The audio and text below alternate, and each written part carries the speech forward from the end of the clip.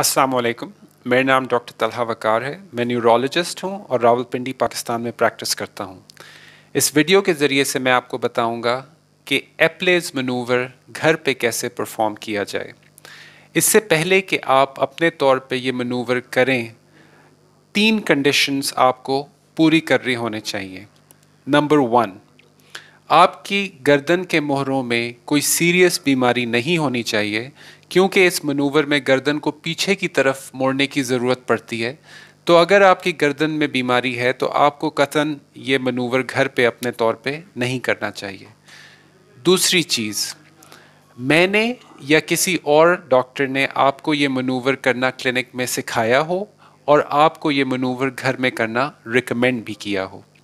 اور تیسری کنڈیشن یہ کہ آپ کو پتہ ہونا چاہیے کہ آپ کی بیماری رائٹ کان میں ہے یا لیفٹ کان میں، کیونکہ دونوں سائڈس کی ورزش مختلف ہوتی ہے۔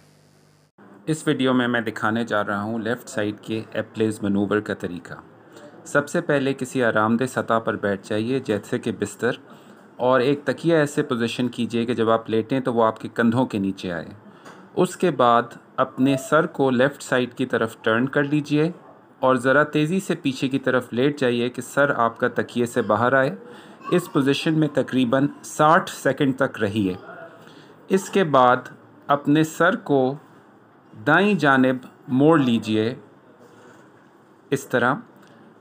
اور اس پوزیشن میں بھی تقریباً ساٹھ سیکنڈ تک رہیے۔ اس کے بعد دائیں کروٹ کو مڑ جائیے۔ اور اپنے سر کی پوزیشن باڈی کے ساتھ اسی طرح رکھیے اور دیوار اور زمین کے کونے کی طرف دیکھتے رہیے۔ اس پوزیشن میں بھی تقریباً ساٹھ سیکنڈ تک رہیے۔